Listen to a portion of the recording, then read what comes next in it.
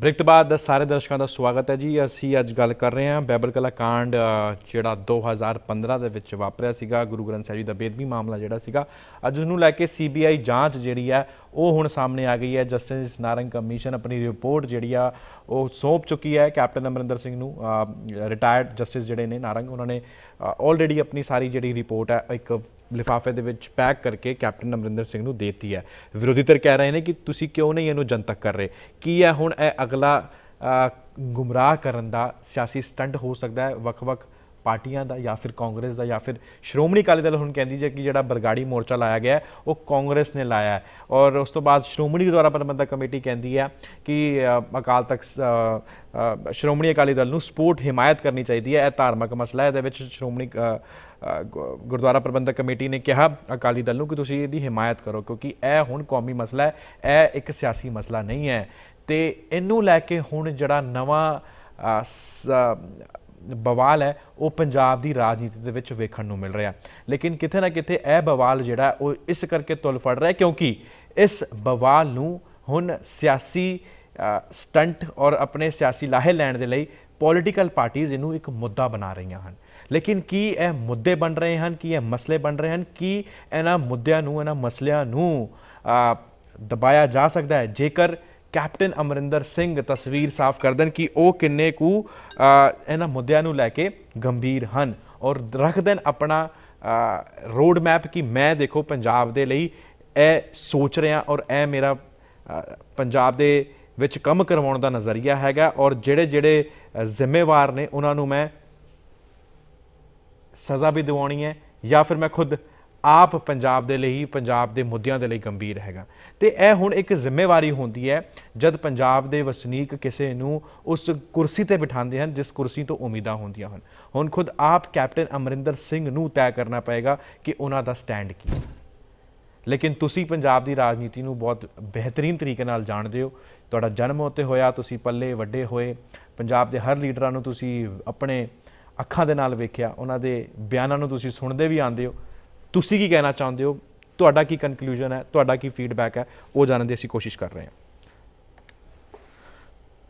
Hello ਸਤਿ ਸ਼੍ਰੀ ਅਕਾਲ ਜੀ, ਤੁਸੀਂ ਔਨ 에ਅਰ ਹੋ? ਕੌਣ ਬੋਲ ਰਹੇ ਹੋ? ਕਿੱਥੋਂ ਬੋਲ ਰਹੇ ਹੋ?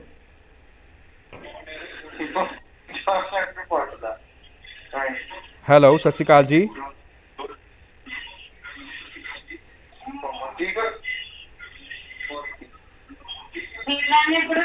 ਹੈਲੋ ਸਤਿ ਸ਼੍ਰੀ ਅਕਾਲ ਜੀ ਕੀ ਤੁਸੀਂ ਮੈਨੂੰ ਸੁਣ ਪਾ ਰਹੇ ਹੋ?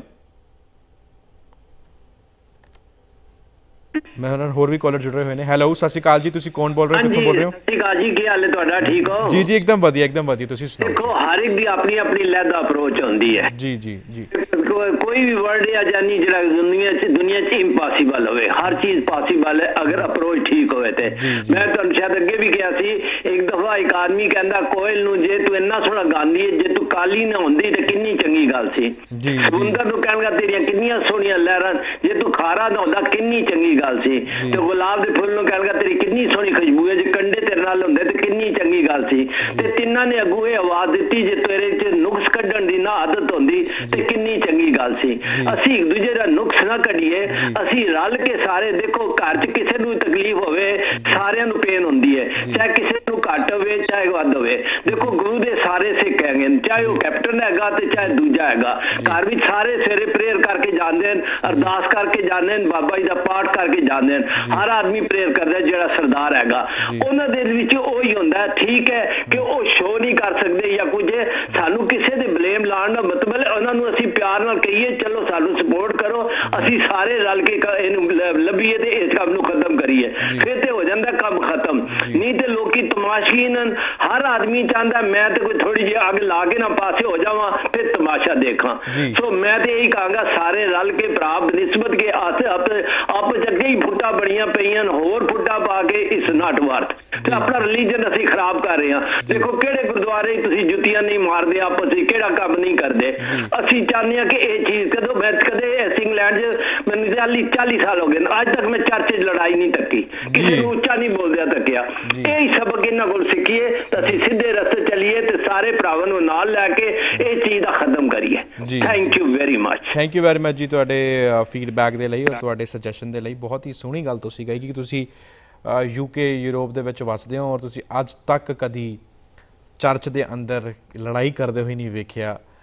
ਡਾਂਗ ਸੋਟੀਆਂ ਵੱਜਦੀਆਂ ਹੋਈ ਨਹੀਂ ਵੇਖੀਆਂ ਔਰ ਅੱਜ ਕੱਲ ਖਬਰਾਂ ਜਿਹੜੀਆਂ ਵਿਦੇਸ਼ਾਂ ਤੋਂ ਸਾਨੂੰ ਸੁਣਨ ਨੂੰ ਮਿਲਦੀਆਂ ਖਾਸ ਤੌਰ ਤੇ ਕੈਨੇਡਾ, ਅਮਰੀਕਾ ਯੂਕੇ ਕਿ ਗੁਰਦੁਆਰੇ ਦੇ ਅੰਦਰ ਜਿਸ ਤਰੀਕੇ ਨਾਲ ਜਿਸ ਤਰੀਕੇ ਦੀ ਹੁਣ ਸਿਆਸਤ ਭਖਦੀ ਹੈ, ਚਾਹੇ ਉਹ ਪ੍ਰਬੰਧਕੀ ਮਸਲੇ ਹੋਣ, ਲੇਕਿਨ ਕਿਤੇ ਨਾ ਕਿਤੇ ਉਹ ਸਾਡੇ ਦਿਲਾਂ ਨੂੰ ਠੇਸ ਜ਼ਰੂਰ ਪਹੁੰਚਾਉਂਦੀ ਆ।